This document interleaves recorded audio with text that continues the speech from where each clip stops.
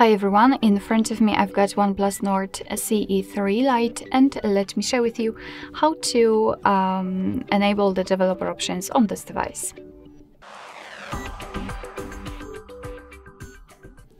So first of all we have to enter the settings and then let's scroll down to the very bottom to find about device.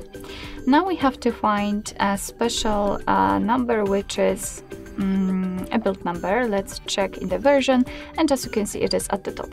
So here we have to keep tapping on it until we will see that we are in the developer mode. As you can see if you've got any kind of uh, pattern, pin or password you will have to enter it to confirm and now we can go back to the uh, general settings and enter additional settings. On the at the very bottom of the list we've got the developer options so let's tap. And here we've got plenty of advanced settings which we can customize. As you can see this list is so wide. So for example we can forward the desktop mode uh, we can um, show crash dialog uh, we can enable the strict mode. Uh, here we've got some options which are connected with the override force dark options uh, here we've got um, the options connected with the animations with the um, input the drawing and then networking because we've got the bluetooth a usb also wi-fi somewhere here should also uh, appear. Um, so quite a lot of options.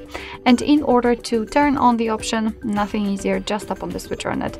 And as you can see it will be immediately activated and applied. Of course you can turn it off the same way. If you've got the options without the switcher, like here in the window animation scale, you have to simply tap on it to enter more options.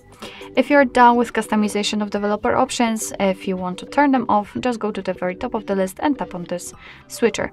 Most, basically, all of the options will be inactive. As you can see right now, this list is short and the developer options should disappear from this additional settings list.